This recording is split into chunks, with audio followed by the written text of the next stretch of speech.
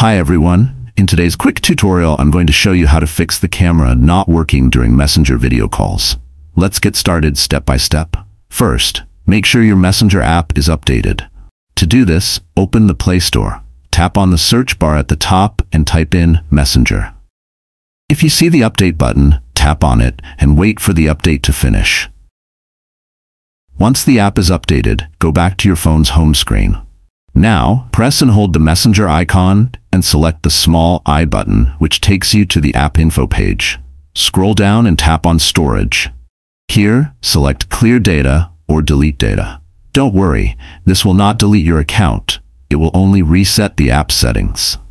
After that, return to your home screen and simply restart your phone. That's it. After following these steps, your Messenger video call camera problem should be fixed. Thank you for watching. If this tutorial helped you, don't forget to like the video, drop a comment below, and subscribe for more quick fixes.